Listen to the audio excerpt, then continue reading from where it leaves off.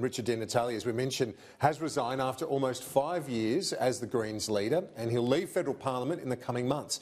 The Victorian senator is ending his political career to spend more time with his family, and as we've mentioned, paving the way for Adam Bandt to replace him.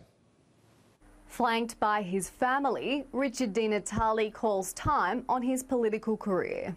Today I've made one of the most difficult decisions uh, that I've ever had to make and I've announced to my party room colleagues that I'm resigning as parliamentary leader of the Australian Greens.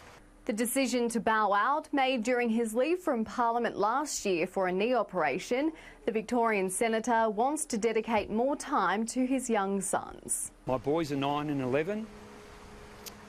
I want to be present in their lives.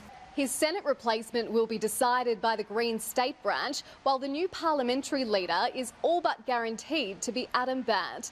Most of the 10 member Greens party room throwing their support behind the lower house MP ahead of a formal vote on Tuesday. Well, that's going to be a decision for the party rooms. Just minutes after their side by side press conference, Mr. Bandt released a statement about his priorities, saying he looks forward to talking with colleagues about sharing leadership across the House and Senate as we fight the climate emergency with a Green New Deal.